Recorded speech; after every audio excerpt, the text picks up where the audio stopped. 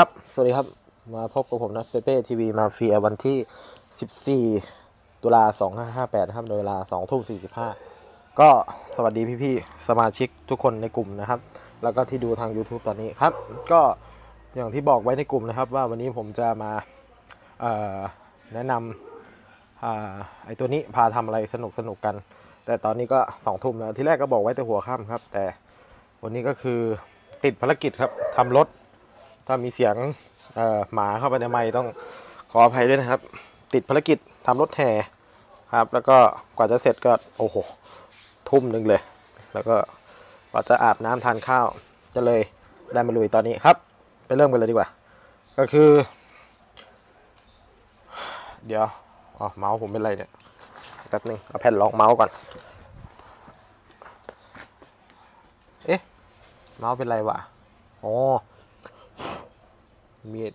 มันมีเศษฝุ่นไปขวางเลเซอร์มาโอเคครับ อะ ไปเริ่มกันเลย ครับ ก่อนอื่นก็เดี๋ยวผมจะพาไป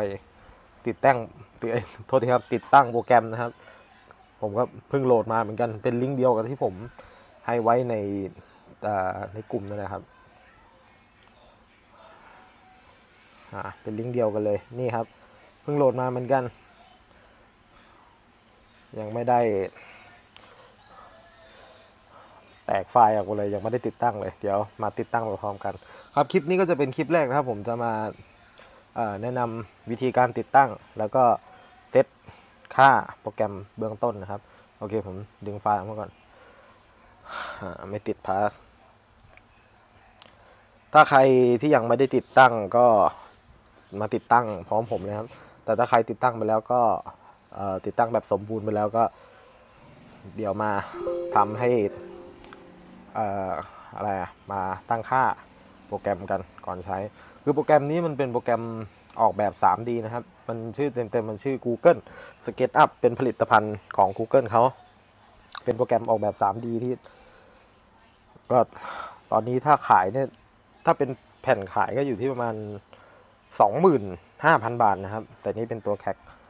นะครับแต่ผมโปรแกรมนี้นี่ผมเคยใช้มาตั้งนานนะครับช่วงช่วงหนึ่งครับ แล้วช่วงที่ว่าออตอนนั้นที่อะไรอะ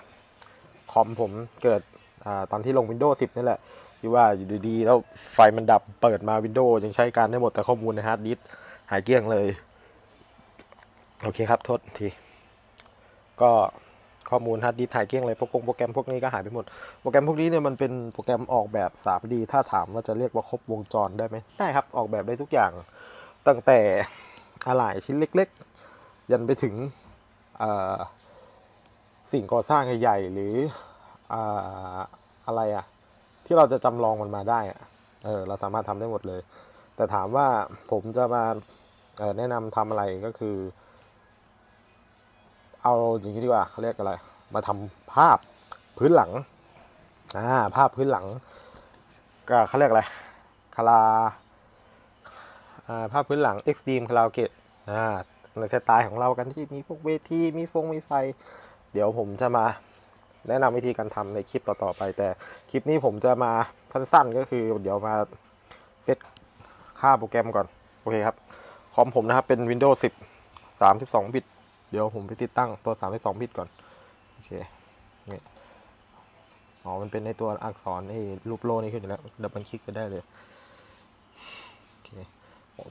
ต้องขอบอกนะยังไม่เคยลงโปรแกรมนี้มาก่อนนะตั้งแต่ใช้ Windows 10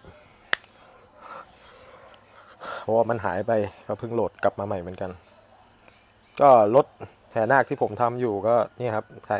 โปรแกรมตัวนี้ออกออกแบบมาก่อน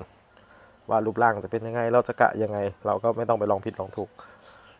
ส่วนมากผมจะใช้โปรแกรมนี้ออกแบบตู้ลำโพงนะครับถ้าเป็นส่วนใหญ่ แล้วก็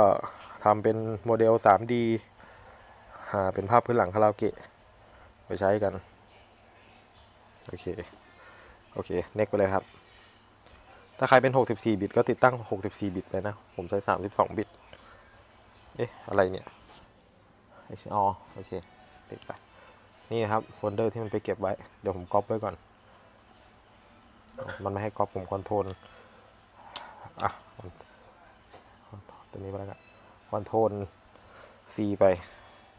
ก๊อปไว้ไม่รู้ก๊อปมาได้หรือเปล่านะเขียมาแล้วติดตั้งแป๊บเดียวครับ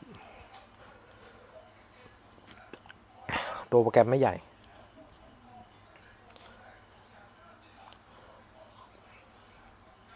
ผมใช้มาตั้งแต่มันเป็นเขาเรียกอะไรอะ SketchUp แปดนะเออตอนนี้มาเป็น Pro สิบห้าแล้วก็ใช้ดีครับ รับรองรับประกัน confirm มันเอาไปประยุกต์ใช้ได้หลายแบบครับโอเคเดี๋ยว โอเคนะเวลายังเดินอยู่ เดี๋ยวไอ้โทรศัพท์ผมอัดอยู่หรือเปล่าเนี่ย น่าจะอัดอยู่นะ โอเค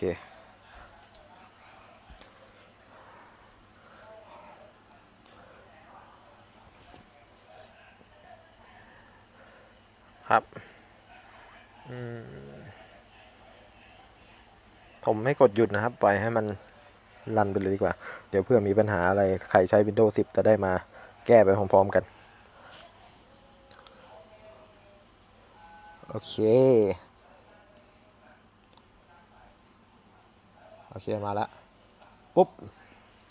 นี่มันขึ้นมาอยู่ตรงนี้ โอ้เดี๋ยวกำลังโหลดอยู่แป๊บหนึ่ง ช้าท่านหน่อยปุ๊บโอเคครับ อันนี้ไม่เกี่ยวนะ อันนี้เป็นรูปนะ ที่ผมโหลดมาเพื่ออะผมลบไปเลยดีกว่าเดี๋ยวจะได้ไม่งง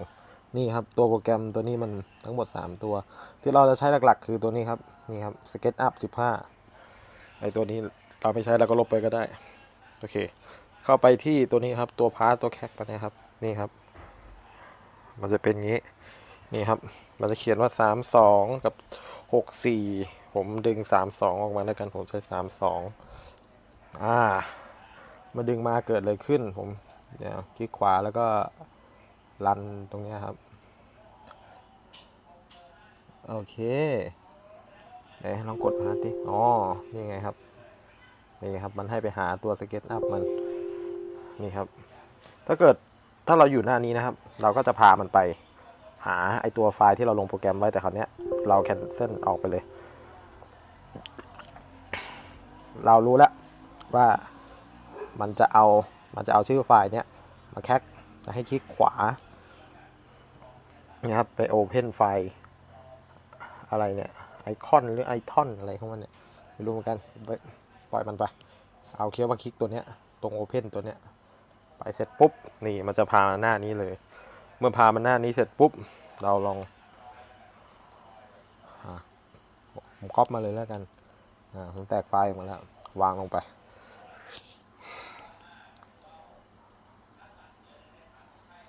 ไหนมายังเอ่ยโอเคมาแล้ว ผมไปรันเหมือนเดิม run as ตัวนี้เหมือนเดิม โอเคไหนลองกดพาร์ทดิ มันมา เห็นไหมโอเคแต่นี่ครับ อ่า คราวนี้มันจะไปที่ Open ตัวนี้คือนี่ครับมันจะไปเอาไฟล์ตัวนี้ แต่คราวนี้ถ้าท่านไหนจะใช้ก็ไปแคคให้หมด แต่ผมไม่ได้ใช้ แต่ผมพาไปแคคแล้วกันนี่ครับนี่ครับสังเกตนะครับชื่อตรงนี้นี่ครับกับตรงนี้มันต้องการไอ้โปรไฟล์ตัวเนี้ยแต่เป็น EXE ที่อยู่ในแฟ้มนี้แล้วเข้าไปนี่ครับเราก็เจอแล้วแล้วก็คลิกเข้าไปปุ๊บอ่ามันถามหาไฟล์อีกตัวหนึ่งถามหาไฟล์ตัวหนึ่งคือตัวไหน คือตัวนี้ นี่เห็นไหมชื่อเหมือนกัน ผมก็กดกลับออกมา แล้วก็ไปหาชื่อไฟล์ที่มันนี่ไงอยู่ตรงนี้ ปุ๊บ นี่ ปุ๊บแล้วเข้าไป นี่ครับ เป็นการเสร็จสิ้นนะครับ แล้วก็ exit ออกไป โอเค ไหนลองไปเปิดดิ ใช้ได้ไหมเอ่ยอะฮะ นี่ครับ ปิดขึ้นมานี่ครับ ก็หน้าตาโปรแกรมจะเป็นนี้นะครับโอเค เราก็ ไปเลือกชิ้นงานโอ้ไม่ใช่ อันนี้เป็นตัวนั่นนี่ครับ ชิ้นงานก็จะเป็นตรงนี้ครับตรงอ่าก็เรียกอะไรอะหน่วยหน่วยวัดชิ้นงานเออเรียกง่ายๆแล้วกันหน่วยวัดชิ้นงานก็จะเป็นให้เราเลือกเป็นนิ้วเป็นเมตร เมตรก็จะมีหลายแบบนะเป็นเมตรที่ว่าเป็นเออเป็น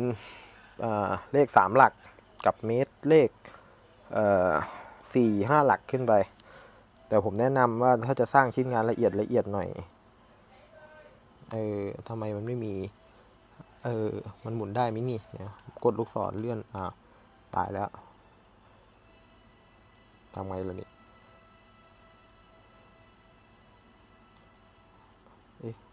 ปกติมันน่าจะมีแท็บให้เลื่อนอยู่นะเอ๋ออ้าลูกกิ้งผมก็เหมือนจะใช้ไม่ได้ เอ๊ะ เป็นไรเอ่ย เดี๋ยวผมลองเปิดขึ้นมาใหม่ดูดิ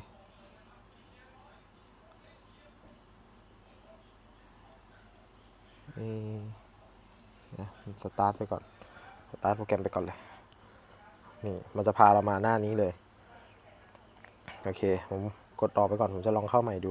ผมอยากรู้ว่าทำไมมันไม่มีแท็บให้เลือกชิ้นงาน ผมงงมากเลยอือฮะน่าจะนี่ไง มาแล้วตอนไม่เข้าใจเหมือนกันตอนแรกทำไมไม่มี โอเค เมื่อได้หน้าต่างมางี้มันจะเป็นงนี้ นี่นี่มันจะมีมีเมตรนี่นิ้วนะ นี่เป็นนิ้ว นี่บอกว่าใช้งานเป็นนิ้วก็จะประมาณว่าถ้าเราออกแบบอะไร ตลับเมตรของเราอะที่อยู่ข้างในอะเวลาเราวัดชิ้นงานมันจะเป็นเมตรเอ่อเป็นนิ้วเป็นนิ้วเป็นนิ้วหมด แต่ถ้าเกิดเราเลือกเป็นเมตรตลับเมตรก็จะแสดงเป็นเซนติเมตรอ่าอันนี้ก็จะเป็นนิ้วอีกแบบหนึ่งแบบละเอียดขึ้นมาหน่อยอ่ามันจะมีแบบวัดละเอียดกับวัดหยาบถ้าเกิดใครที่เน้นงานละเอียดละเอียดแล้วจะเอาเป็นนิ้วเอาเป็นเมตรก็ใช้อันนี้นะครับ ผมแนะนำให้ใช้อันนี้ แต่ถ้าใครที่เน้นงานแบบธรรมดาไม่อะไรมากแบบวัดเอ่อแค่ประมาณ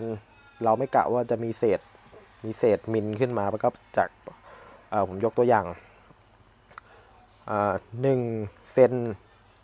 หนึ่งหนึ่งเซนติเมตรอ่าอย่างนี้ หรือ 1.5เซนเป็นต้น ถ้างานละเอียดก็จะเป็น 1 เซนกับอีกประมาณ 25 มิลอ่าไม่ถึง เพราะถ้าเกิดอันนี้มันจะเป็น มันจะเป็นเลขเป็นเลขเขาเรียกอะไรอะ เป็นเลขหลักเเลขสามหลัก เลขสามหลักก็จะข้างหลังจะเป็นเซนเว้นจุดมาก็จะเป็นเมตรอะเดี๋ยวผมเข้าไปให้ดูอ่าอ่านี่ครับนี่คือตลับเมตรที่เราจะใช้วัดชิ้นงานอันเนี้ยผมดึงมาเสร็จปุ๊บนี่ไงเห็นไหมนี่ตัวเลขจะขึ้นตรงนี้เนี่ยสี่เมตรห้าห้าสิบเจ็ดนี่คือเป็นขนาดสัดส่วนจริงนะครับ ที่เราออกดึงออกมาใช้กัน นี่เป็นสัดส่วนจริงนะ อันนี้เครื่องมือเวลาเราหมุนอ่าเวลาเราหมุนซูมเข้าซูมออกให้ใช้ลูกกิ้งที่เมาส์เราอ่าซูมเข้าซูมออกนี่ครับ นี่คือสัดส่วนจริงนะอ่าไอ้พวกนี้นี่เรา มันจะเป็นโมเดลก็อ่าเป็นโมเดลนะลบไปอันเนี้ยอย่างผมเลือกซึบอ่าต้องต้องติ๊ก center ที่จุดกลางเขาอันเนี้ยผมดึงมาให้สังเกตมองที่มุม มุมขวานะครับหน้าจอ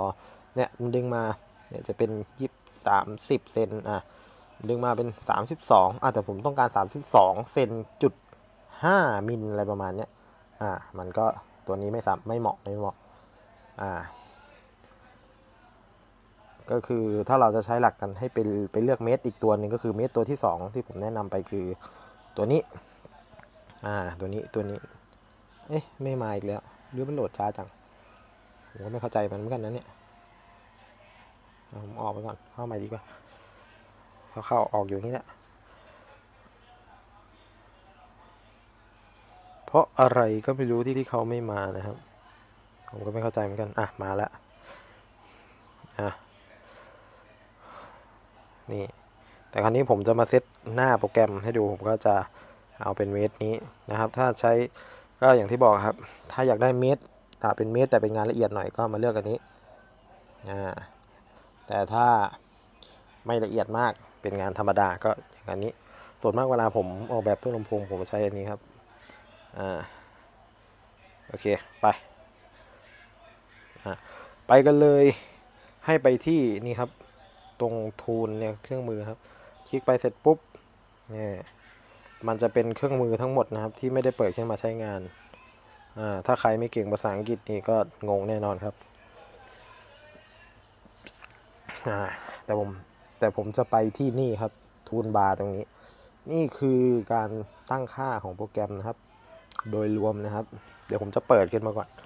ทั้งหมดทั้งหมดแล้วผมจะอันไหนที่ผมไม่ใช้ที่ว่าไม่จำเป็นต้องใช้แล้วผมจะปิดไป เพราะผมจำไม่ได้ครับไม่ได้ใช้นานแล้ว อันนี้เออเดี๋ยวผมไปเปิด tool นี่ตรงนี้มาก่อน อันนี้ต้องเอออันนี้ อันนี้ผมชอบใช้นะครับ มันเป็นงาน present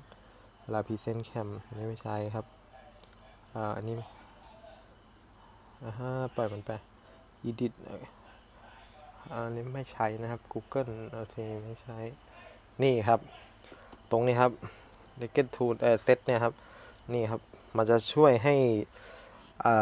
เครื่องมือนะครับหาง่ายขึ้นเรียกใช้ง่ายขึ้นนะครับ จะอยู่ในโหมดนี้นะครับ Layer Layer อะไรเอาไม่เอาไม่ค่อยใช้โอเคอันนี้ปล่อยมัน น่าจะอีกตัวหนึ่งนะครับอีกชุดหนึ่งเท่าที่ผมจำได้นะครับนี่ครับไม่ได้ใช้นานจะเป็นอย่างนี้นะครับ จริงๆครับผมลืมจริงๆครับ ใครว่าผมจะนี่ครับอีกชุดหนึ่งนี่ครับ นี่ครับ นี่แหละครับ ที่ผมต้องใช้ทั้งหมด ก็ดูเลยครับว่าผมติ๊กตรงไหนบ้างแต่ถ้าใครอยากจะเปิดมาทั้งหมดก็ไม่ว่ากัน อ่า นี่คือการเซตหน้าทั้งหมดนะครับที่ผมอ่าใช้เป็นประจำในการออกแบบเอโอเคปุ๊บนี่ผมจะเซตไว้อย่างนี้โอเคมเอาออกมาก่อนมาจัดตรงที่ปุ๊บ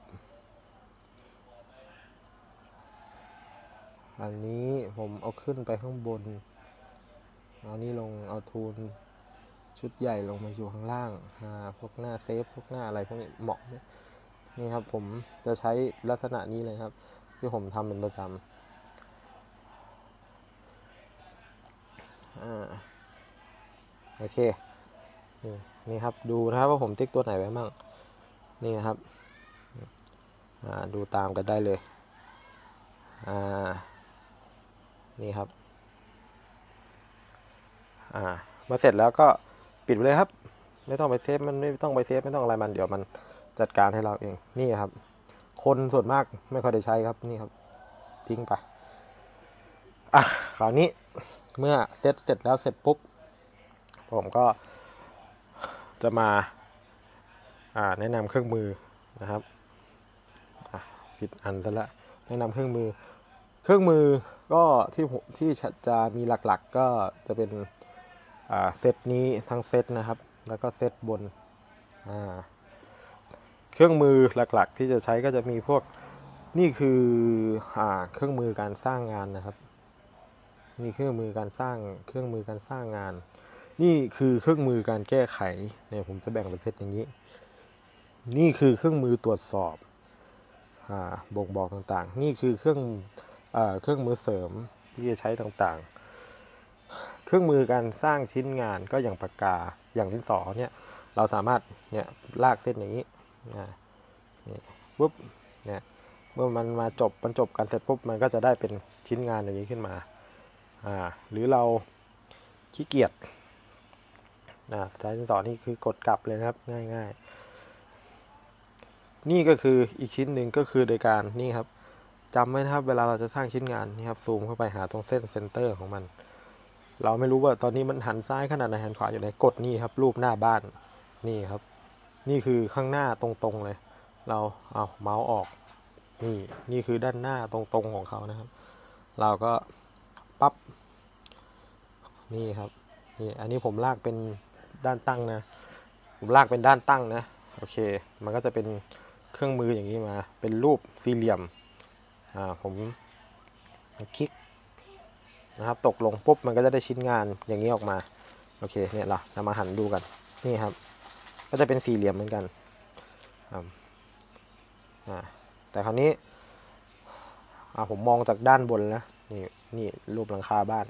นี่คือมองจากด้านบน แล้วก็คลิกเข้าไปนะครับ โอเค มันจะเป็น อ่า สี่เหลี่ยมพื้นผ้าวางอยู่ขนานกับพื้นเลยนะ อ่า นี่ครับ นี่มันจะขนานกับพื้น อ่า นี่คือเครื่องมือสร้างชิ้นงาน อีกไปอีกตัวหนึ่ง อีกตัวหนึ่งก็กดกับ อ่า อะไรเอ่ย Google เด้งอะไรขึ้นมา ไม่รู้ผมปิดไว้ก่อนแล้วกัน อะเครื่องมืออีกตัวหนึ่ง อันนี้จะเป็น อ่า เส้นนะครับอะ ในการวาดออกมาเป็นแบบนี้ เป็นเครื่องมือการวาดชิ้นงาน โอเคนะครับวาดเป็นรูปหัวใจ ให้เส้นมันจบกัน มันก็จะเป็น layer ขึ้นมาเราไปดูที่ว่าภาพมันนอนอ่าภาพมันนอนนะครับมันนอนอยู่นี้อ่าอันนี้ก็จะเป็นเครื่องมือสร้างวงกลมท่านนี้เรามาที่จุด center อ่าลองขยายเป็นวงกลมที่ มันก็จะได้เป็นวงกลมขึ้นมา โดยที่เราไม่ต้องมาวาดวงกลมเอง อันนี้ก็จะเป็นเครื่องมือสร้างเหลี่ยมอ่านี่ครับปุ๊บปุ๊บปุ๊บก็จะเป็นเหลี่ยมขึ้นมาแบบนี้ เป็นเหมือนรูปน็อตนะครับ มีหนึ่งต่อหนึ่งสองสามสี่ห้าหกเหลี่ยมนะครับ อ่า เป็นตัวหกเหลี่ยม โอเค อ่า ตัวนี้ก็จะเป็น อ่า ตัวนะครับ สร้างเส้นโค้งในชิ้นงานที่เราต้องการโค้งให้มัน อันไหนที่บกตกไปผมก็จะต้องขออภัยด้วยนะครับ เพราะว่า ผมไม่ค่อยบางตัวผมก็ไม่ค่อยได้ใช้นะครับ อันนี้ก็จะเป็นน่าจะเป็นตัวสร้างเส้นวงกลมเหมือนกันแต่มันจะนี่ครับ เราจะสร้างเป็นเส้นอย่างนี้ก็ได้หรืออ่านี่ครับคราวนี้อ่าทำไมถึงอันนี้ถึงเป็นอย่างนี้อ่านี่ครับนี่ครับอ่ามันจะเป็นลักษณะการสร้างเส้นอ่าแบบนี้ นี่ครับอะตัวไหนอีกตัวหนึ่งตัวนี้บอกไปยังเอ่ยอ๋ออันนี้ก็เป็นตัวจับโค้งเหมือนกันครับ เป็นตัวจับโค้งนี่ครับ จับโค้งในขอบอ่าจับโค้งในขอบยังไงไปดูกันเอากดกลับให้หมดเลยอ้บนี่ผมสร้างสี่เหลี่ยมมาหนึ่งชิ้นปั๊บอ่าผมอยากให้ตรงเนี้ยมันเป็นมน ผมทำไง เราก็จะต้องเอาตลับเมตรมาวัดก่อนฟึบอ่าผมบอกอะเอาหกเซนข้างละหกเซนอ่านี่ครับมันจะมีเห็นนะเห็นเห็นสังเกตนะครับจะมีจุดจุดตรงนี้กับจุดตรงนี้อยู่เนี่ยครับ ถ้าท่านที่ใช้เมาส์อยู่ตอนนี้จะรู้สึกเลยครับมันถูกดูดไปตึ๊บหนีไปหามันเลยแบบเหมือนใกล้เคียงแล้วจะรู้สึกว่าถูกดูดลงไปเนี่ยผมก็ไปเอาเส้นตัวโค้งนี่มาอะติ๊กตรงนี้หนึ่งนะครับ ในเวลาเราวิ่งไปเนี่ยเป็นสีแดงนะ เนี่ยพอมาถึงจุดที่ตลับเมตรเราติ๊กไว้แน่มันจะลงไปเลยนี่ครับปุ๊บอ่าแล้วผมก็ลากเข้ามา นี่อันนี้มันเหมือนแบบ อันนี้คือเหมือนได้ได้จุดมันละนี่มันหยุดเองปุ๊บนี่เหมือนได้จุดเหมือนนี้อ่าเราก็จะได้เส้นโค้งในนี่ของเราอ่าจะเป็นประมาณนี้โอเค ต่อกันเลย เครื่องมือแก้ไขแก้ชิ้นงาน แก้ไขชิ้นงานก็เป็นไงอย่างอันนี้ อันนี้เราใช้ได้หลายแบบนะครับ คือ 1 เราสามารถเลื่อนมันออกไปได้ ซ้ายขวาอะไรประมาณนี้ อ่า หรือเส้นดึงเส้นไปมานี่ย้ายเส้นโยกเส้นจากขอบไปนู่นไปนี่ อ่า แล้วก็สามารถย้ายวัตถุได้ แต่ก่อนถ้าจะให้นี่มันย้ายวัตถุนะ ต้องคุมให้หมดก่อน โดยการเนี่ยคลิกคุมชิ้นงานอย่างนี้ อ่า แล้วก็มาใช้เครื่องมือนี้ อันนี้กับนี้เป็นอันเดียวกันนะครับ อ่าเลือกใช้เอานี่ครับ เราถึงจะย้ายชิ้นงานได้ซ้าย ขวา นี่อะผมผิดหรือเปล่าเนี่ย อ๋อ นั่นไม่รู้ดิ ขวา อ่าซ้าย นี่ครับ อ่า นี่ นี่ครับ ไปข้างหลัง มาหาหน้าเรา ขึ้นบน เนี่ยท่านสังเกตครับ เส้นที่เราจะขยับเนี่ย ถ้าเราขยับตรงนะครับ เส้น อ่า เส้นของตรงจุดเริ่มต้นจุดกำเนิดนะครับ จะเป็นสีแดง ถ้าเราขยับผิดไปเหมือนเขไปเหมือนอะไรไปเนี่ยเส้นจะเป็นสีดำอ่าเนี่ยซ้ายกับขวาเป็นสีเดียวกันครับ บนล่างเป็นสีน้ำเงินครับ หน้าหลังอ่าจะเป็นสีเขียวโอเค ตัวตอนนี้ยังดูมันยังเป็น 2D อยู่เลยอ่าจะทำไงให้มันเป็น 3D นี่นะครับอ่าสมมุติผมจะสร้างเป็นกล่องสี่เหลี่ยมขึ้นมาหนึ่งกล่องอ่า ผมเอาเครื่องมือนี้มาปุ๊บนี่อ่าอันนี้คือเหมือนสัดส่วนของมันที่มัน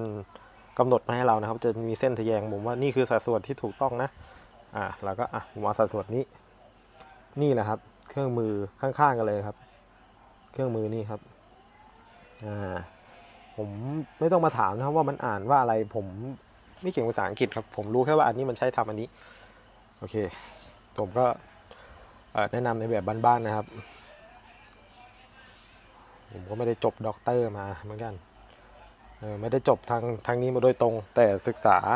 การใช้โปรแกรมนี้มานานพอสมควร ก็ตั้งแต่เวอร์ชัน8อะเวอร์ชัน8ก็โอ้โหย้อนไปทีครับ น่าจะประมาณสัก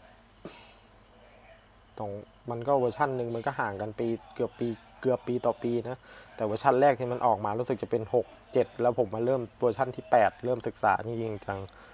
อะนี่ครับผมไปเอาเครื่องมือนี้มาปุ๊บนี่เป็นเครื่องมือการสร้างชิ้นงานสักครู่นะครับ ขออนุญาตทานนะแป๊บหนึ่งโอเค มาเริ่มกันต่อ นี่คือเครื่องมือที่จะดึงวัตถุให้กลายเป็น 3D อีกหนึ่งตัวนะครับที่เราจะใช้งาน อะ โอเค ผมไปเอาเครื่องมือนี้ นี่ครับ สังเกต จะเป็นลายๆ จุดๆมาเลยนี่ผมซูมเมาส์เข้าไป นี่เราสามารถระหว่างที่เราใช้เครื่องมือเราสามารถใช้เมาส์ซูมเข้าซูมออกได้ตลอดโอเค นี่ครับ มันจะเป็นจุดๆแบบนี้ ให้เราคลิกอ่าคลิกซ้ายนะครับ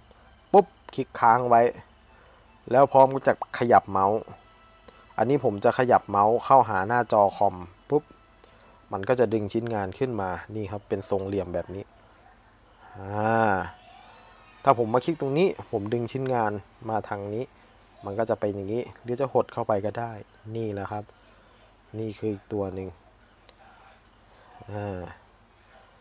แล้วสมมติว่าเราออกแบบชิ้นงานไว้เสร็จหมดแล้ว เป็นรูปเป็นร่าง เราไม่สามารถไปดึงเข้าดึงออกแบบนี้ได้ เราจะต้องการลดขนาดมัน ให้มาใช้เครื่องมือนี้ครับ นี่ปุ๊บนี่ครับ มาคลิกที่นี่เลยครับ มันก็จะเป็นแบบนี้เราสามารถบีบนี่ครับ ให้มันเป็นทรงจรวดอย่างนี้ก็ได้แต่คราวนี้ผมต้องการลดทั้งหมดเลย ไม่ต้องยากครับ คุมก่อน คุมให้หมดเป็นสีน้ำเงินอย่างนี้แล้วคลิกปุ๊บนี่ครับมันมาเองเลยการจับการจับจัดชิ้นส่วนนะครับ ก็นี่ครับ จัดชิ้นส่วนครับผมนี่ครับมันจะเป็นทะแยงหมดนะครับเห็นไหมผมคลิกมาทางนี้ทะแยงไปทางนู้น ผมคลิกนี้ทะแยงมาทางนี้ คือมันจะต้องเอาสัดส่วนที่แท้จริง คืออะคราวนี้ผมจะหุบเข้า ผมมาคลิกอันกลางแล้วกันคลิกอันกลางเนะมันไปอยู่อันกลางของฝั่งคานูนแล้วนะครับอะผมหดเข้าไปนี่ครับมันก็จะหดอะผมต้องการให้มันเตี้ยลงมาคลิกอันกลางครับนี่ครับ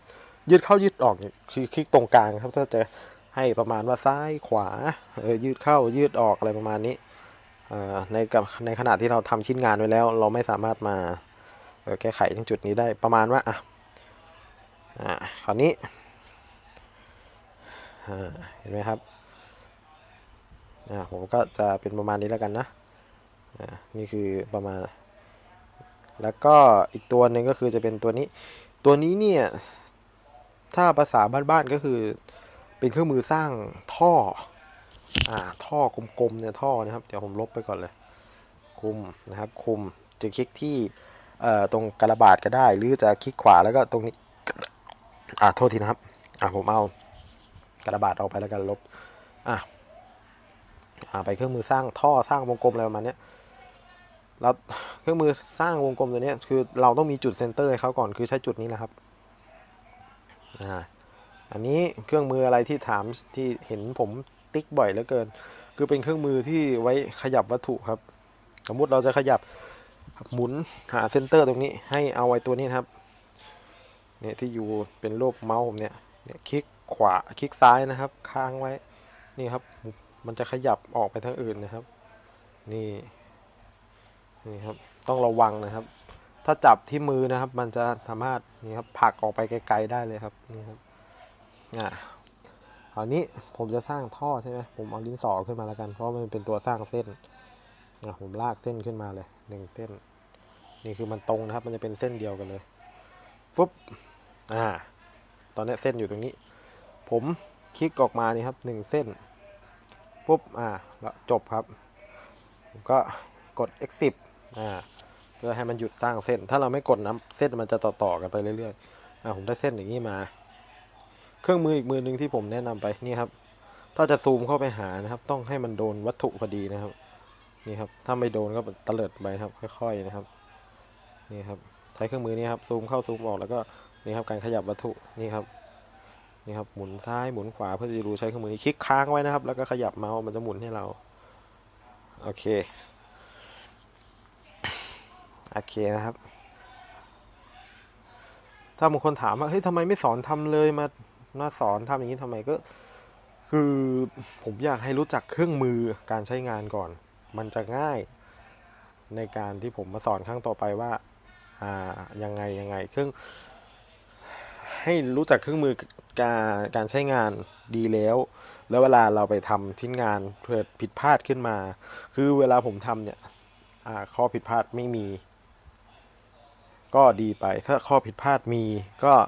ท่านจะสามารถแก้ไขด้วยตัวเองได้ เพราะท่านรู้ว่าเครื่องมือนี้ใช้ทำอะไรใช้ทำอะไร เพราะคิอะสมมุติว่าผมสอนสร้างสร้างฉากเวทีขึ้นมาหนึ่งฉาก ผมก็จะบอกอ่าใช้อันนี้นะ ใช้อันนี้นะ ใช้อันนี้นะ แต่เพราะมันมีปัญหาขึ้นมาอ้าวในตัวอื่นทำอะไรได้บ้างจะแก้ไขยังไง ไม่รู้ไงไม่รู้ก็อะจบอ่าแล้วมาทักเข้ามาถามผมผมก็อธิบายให้ไม่ถูกผมก็พิมพ์ไม่ค่อยเก่งด้วย เรื่องของเรื่องเลยต้องมาคลิปแรกผมจะมาให้รู้จักเครื่องมือกันก่อนนะครับโอเคนี่นะครับอ่าผมเมื่อผมได้เป็นเส้นสี่เหลี่ยมๆเหมือนรูปตัว L กับหัวอย่างนี้กับหัวกับหางแบบนี้แล้ว เราจะสร้างเลยก็ได้ครับ แต่คราวนี้ผมอยากให้ท่อท่อมันโค้งสวยๆหน่อยอะผมก็จะใช้เครื่องมือนี้ที่ผมได้บอกไปคือ ตัวสร้างเส้นขอบนี่แหละอะผมติ๊กตรงนี้ อะหนึ่งเส้น อ่า นี่ครับ นี่ครับ นี่ครับ ถ้าเป็นสีชมพูนี่คือสัดส่วนที่พอดีนะ ถ้าเป็นสีฟ้านี่ก็คือยังเป็นธรรมดา ถ้าสีชมพูเนี่ยสัดส่วนที่ได้ผมติ๊กตรงนี้เลย นี่ฟุบเอาถึงไหน อ่า ถึงนี้ นี่ครับ นี่คือจุดเริ่มต้นนะ จุดเริ่มต้นคือตรงนี้ อ่ามาตรงนี้ นี่ครับ มันจะเป็น อ่า เส้นสียังแถบอย่างนี้ขึ้นมา ถ้าเราไปใช้ไอ้นี่ดึงมาก็จะเป็นแบบนี้เลยแบบไหนไปดูกันผมหมุนให้ดู นี่ก็จะเป็นทรงแบบนี้นะแต่เราไม่ได้ใช้ต้องการแบบนี้ผมติ๊กออกไป ผมต้องการเส้นโค้งเฉยๆอะครับเวลาเราซูมไม่โดนชิ้นงานนี่มันจะเตลิดไปเลยผมก็ใช้ยางลบนี่แหละ นี่ครับปุ๊บนี่ลบออกไปหมดเลยทีเดียว ติ๊กตรงมุมนะครับ เวลาผมลบถ้าผมอยากลบหมด ถ้าผมไปถ้าผมลบแค่เส้นใดเส้นหนึ่งเนี่ยมันก็จะเหลือเส้นหนึ่งผม ก็เลยเอาไอ้กลมๆเนี่ยมาอยู่ตรงระหว่างอ่อของสองมุมที่มาชนกันพอดี มันก็เลยลบหมด อ่า นี่นะครับ อ่าผมซูมออกช้าเหลือเกิน ผมมาใช้เครื่องมือนี้ดีกว่าเอาทิ้งนี้ก่อน ซูมออกไวดีโอ้ช้าเหมือนกัน ผมกดหน้าบ้านเลย นี่ไวดี นี่ อะมองเหมือนอะไรครับ เหมือนถ้าดูไปดูมาคล้ายๆ เหมือนเสาเหมือนกันเนาะ เสาไอ้ไฟตามทางถนนใหญ่อะโอเคคราวนี้ผมไปใช้เครื่องมือวงกลม ถ้าถ้าดึงถ้าดึงวงกลมขึ้นมาเนี่ย มันก็จะเป็นเส้นวงกลมเฉยๆมันจะเป็นเส้นเฉยๆนะ เราดึงมันขึ้นมาไม่ได้ โอเค เนี่ยครับ เราต้องมาใช้เครื่องมือนี้ดึง เพื่อให้มันเป็นแท่งวงกลม มันก็จะเตลิดเตลิดไป โอเค เราไปอันนี้กันดีกว่า นี่ครับ เครื่องมือสร้างท่อที่ผมได้บอกไว้ตั้งแต่ต้น โอเคนะครับ นี่ครับ ใช่อันนี้หรือเปล่าวะ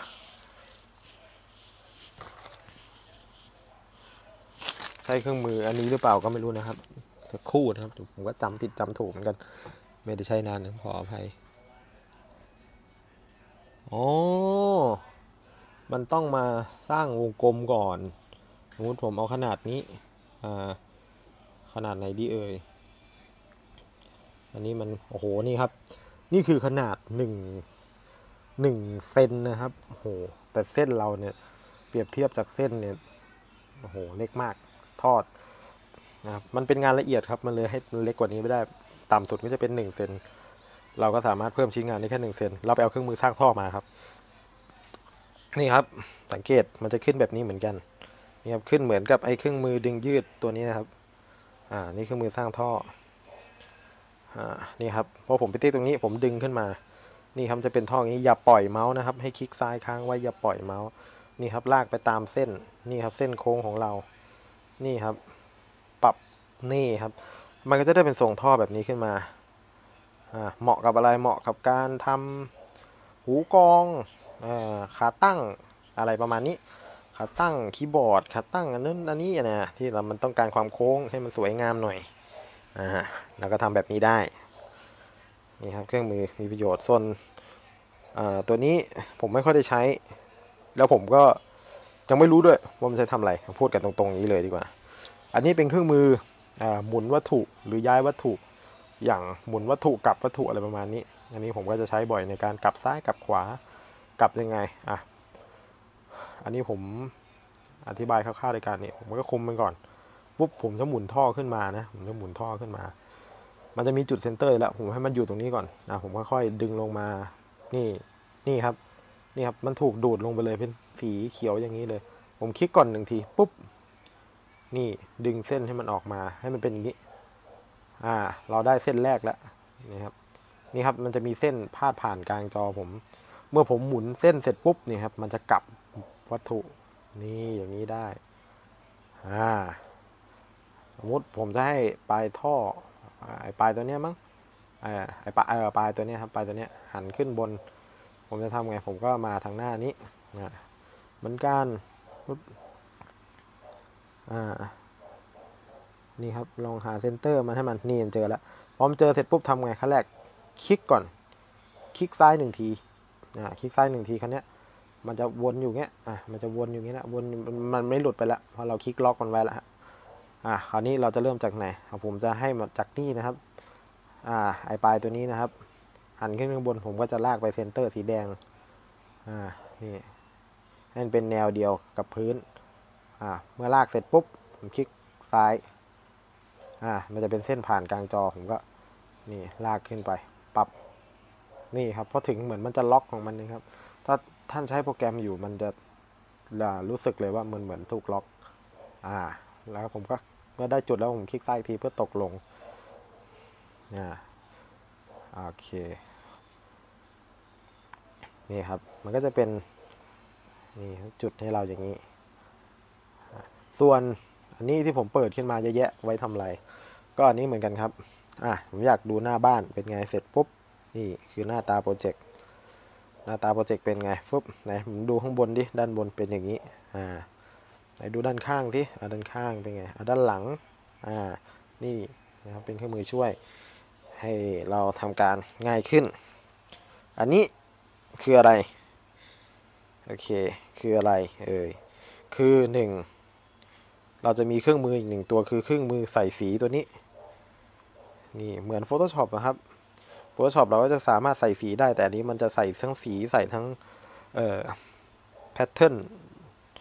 หรือตัว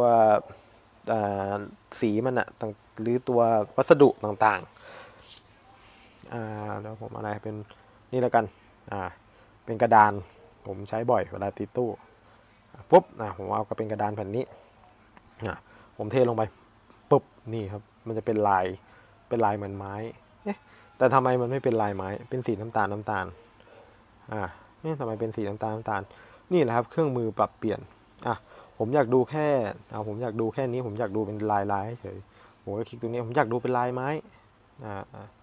เออผมเปิดผิดหรือเปล่าอ๋อนี่มันเป็นลายไม้นะแต่มันเป็นวัสดุวงกลม มันก็เลยดูไม่ค่อยชัดเดี๋ยวผมลบไปเลยดีกว่าอะแล้วสร้างชิ้นใหม่ขึ้นมาอะกดลบไปนะครับอ่าสร้างชิ้นใหม่ขึ้นมาเนี่ยเป็นงี้เลยแล้วกันอ่าแล้วก็ใช้เครื่องมือดึงยืดขึ้นมา เพื่อให้เห็นกันชัดโอเค กดหน้าบ้านปุ๊บนะนี่อะสมมติอะผมต้องการกำแพงไม้อ่าผมก็ใส่ไปแล้วนี่เป็นลายไม้อย่างนี้อ่าอ่าผมต้องการแบบลายแบบนี้อ่าก็คือเหมือนชิ้นงานเนี่ยผมมันเล็กนะเหมือนชิ้นงานผมมันเล็กหรือเปล่านะเดี๋ยวผมไปดูก่อนชิ้นงานเออเดี๋ยวผมลากชิ้นงานเออเอาสักโหชิ้นงานตอนนี้เล็กมากครับอ่าผม เอออะไรดีเนี่ย เดี๋ยวผมกด เอาหน้าบ้าน หน้าบ้านโอ้ตอนนี้อยู่หน้าบ้านแล้ว เอาหลังคาบ้านเลยแล้วกัน นี่ เอาหกเมตรหกเมตร เอ่อย่นมาหน่อย เอาสัก เอาขนาดไหนดีเอ่ย อะ ตอนนี้ อ่า ผมเอา นี่แหละ เมตรกว่าๆนี่แหละ อะ ซูมเข้าไปนะ ลองไปใส่ลายดิ อ่า นี่ครับก็จะเห็นเป็นลายไม้ขึ้นมา นี่ นี่ นี่เราสามารถใส่เป็นลายพวกนี้ได้เลย อ่า นี่เป็นลายน้ำอ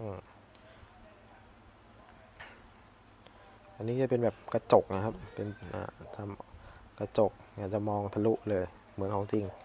อ่า นี่ครับเป็น อันนี้ อ่า เป็นแบบ นี่ครับเป็นลวดลายอย่างนี้อ่าแต่พวกนี้เรามาประยุกต์ได้นะครับ เรามาประยุกต์ได้อ่าเป็นลวดลายประมาณนี้อ่าเดินไปเรื่อยอันนี้เป็นกระเบื้องอ่ากระเบื้องปูพื้นอ่าต่างๆอ่าอ่านี่เป็นลายกำแพงลายหินนี่ครับโอ้โหเหมือนมากๆอืมครับนี่ครับเราจะเนรมิตฉากสร้างสรรค์อะไรมาก็ง่ายทั้งนั้น นี่ครับ นี่ นี่ครับ อ่าคลิกเมาหูก็ไม่ค่อยดีด้วยนะอ่า นี่นี่นะเป็นเกล็ดปลาเลยนี่นี่ครับลายหลังคา นี่นะครับโอ้มีเยอะแยะครับ นี่ครับคัลเลอร์นี่ครับเป็นสีนะครับ เราจะไม่เอาลายเอาเราต้องการสีนี่โหแดงจะแสบตามากนี่สีดำ สีขาวเนี่ยสีขาวเมาผมก็ไม่ค่อยดีคลิกไม่ค่อยมาอะนี่ครับอะก็จะประมาณประมาณนี้โอเคครับคลิปนี้ก็เดินทางมาถึง 41 จะเข้าช่วง 42 แล้ว ก็กะว่าจะทำสั้นๆ แต่ก็นานอยู่ดีนะครับ นานอยู่ดี แต่ก็ ยังมีเครื่องมืออีกหลายตัวนะครับ ที่ยังไม่ได้แนะนำแต่เครื่องมือที่ผมได้แนะนำมาทั้งหมดเนี่ยมันจำเป็นนะมันจำเป็นกับมันจะเป็นกับการสร้างฉากของเราการทำแบ็กกราวในคาราโอเกะของเราอย่างแน่นอนนะครับไม่ต้องกลัวว่าผมจะตกหล่นในจุดจุดๆนั้น แต่ถ้าหมายถึงเราสร้างงานอื่นๆผมยังแนะนำไม่ครบ แต่จุดประสงค์ของเราคือการมาทำ แบ็กกราวคาราโอเกะสร้างชิ้นงานขึ้นมาเองนะนะนั่นคือการสร้างชิ้นงานขึ้นเอง ผมแนะนำไปหมดแล้วแน่นอนครับครับ คลิปนี้ก็เป็นคลิปแรกนะครับ ก็คืออติดตั้งพร้อมตั้งค่าตั้งตัวทูนบาร์โปรแกรม ให้เป็นพร้อมสำหรับการใช้งานนะครับนะครับพร้อมสำหรับการใช้งานการหยิบใช้สอยเครื่องมือเหมือนลังเครื่องมืออะอ่าเราหยิบนู่นมาหยิบนี่มามาจากตรงนู้นตรงนี้